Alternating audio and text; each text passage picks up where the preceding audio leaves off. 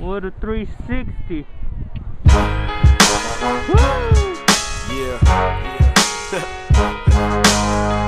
feel that, baby?